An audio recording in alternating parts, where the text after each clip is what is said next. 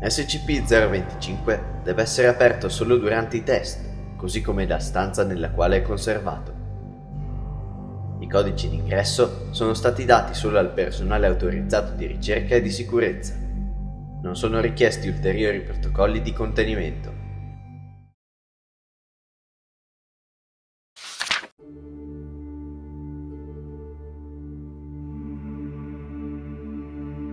SCP-025 è un armadio in legno che misura 0,97 metri x 0,62 x 1,95 metri, pieno di vestiti risalenti ad un certo numero di epoche. Gli indumenti contenuti all'interno dell'armadio, chiamati collettivamente SCP-025-1, coincidono con gli stili dei decenni che vanno dal 1920 ad oggi.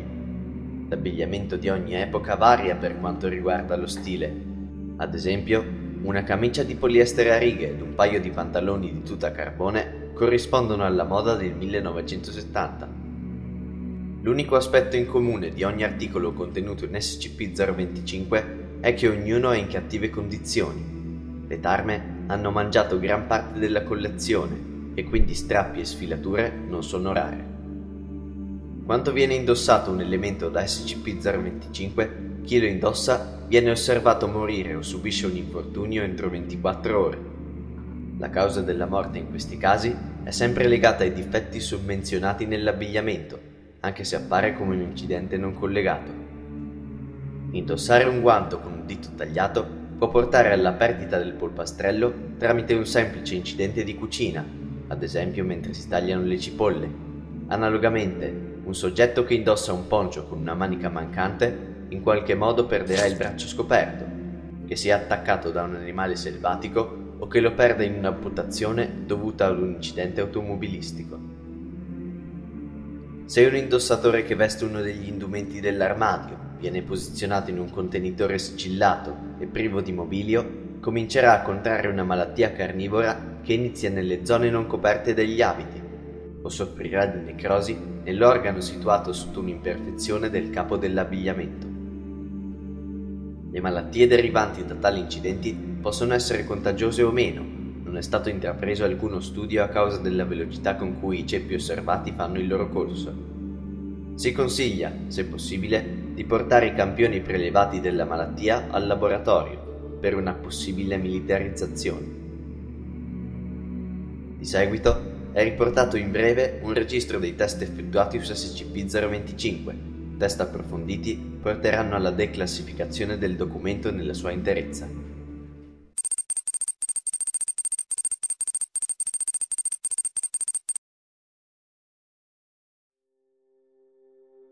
Al soggetto è stata permessa l'esplorazione libera delle sale, sotto la supervisione dell'agente C. Per circa 45 minuti non si è verificato nessun evento significativo, tuttavia alle le registrazioni di sicurezza e dei testimoni oculari hanno affermato che D-778 sembrava voler attaccare l'agente. Egli stesso ha sconfitto il soggetto con un coltello, causando uno squarcio profondo un pollice nella spalla sinistra del soggetto D-778, precisamente nel punto in cui era stata strappata la cucitura dello smoking. Il test è stato interrotto, il soggetto è stato successivamente eliminato.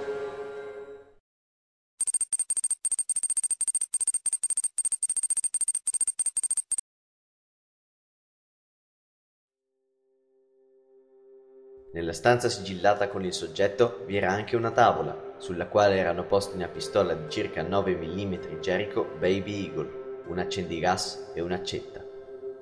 T690 ha scelto di indossare il cappello al contrario per i test. I potenziali effetti di questa decisione sui risultati sono ignoti. Il soggetto ha espresso riluttanza nel toccare uno degli oggetti per diverse ore. Sono stati somministrati cibo ed acqua. Dopo quattro ore di inattività generale, il soggetto ha preso la pistola e l'ha esaminata. Mentre la teneva bruscamente all'altezza degli occhi, l'arma ha sparato in fronte al soggetto D690 nel punto in cui sarebbe dovuto esserci il regolatore di dimensione. La pallottola è uscita dal soggetto vicino alla parte del cappello in cui manca il logo.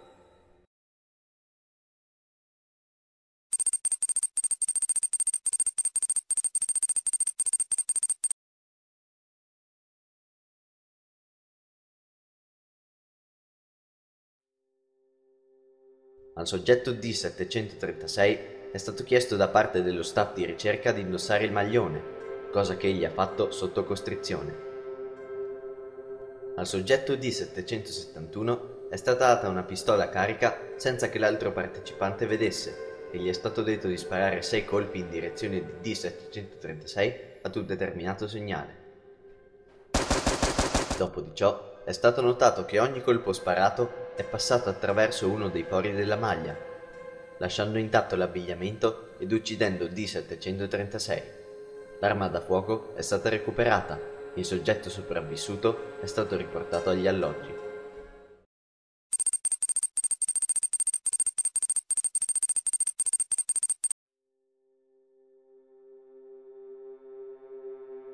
D771 è stato posizionato questa volta in una stanza vuota misurante 15 metri x 15 metri x 15 metri.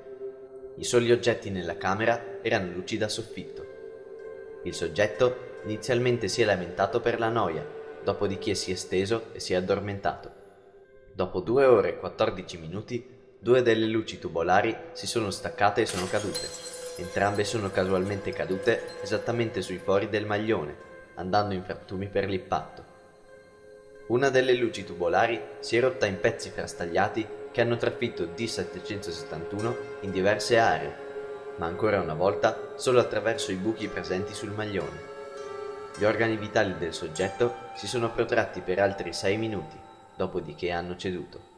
Saranno selezionati ulteriori luoghi per i test per ridurre al minimo possibile i danni all'area circostante.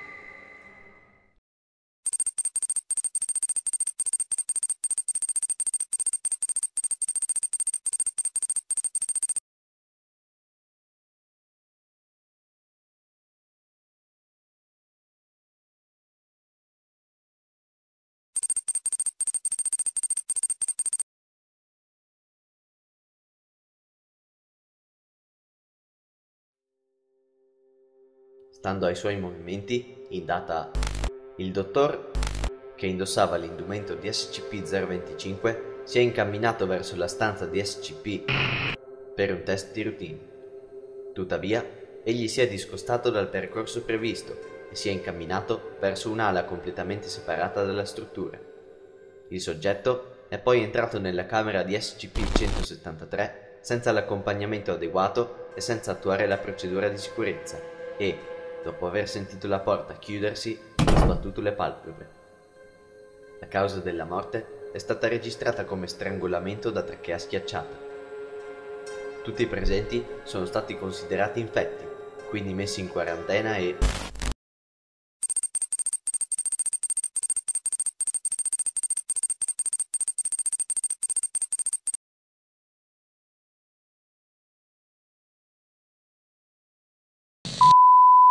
tutti i presenti sono stati considerati infetti, quindi, quindi messi in quarantena e...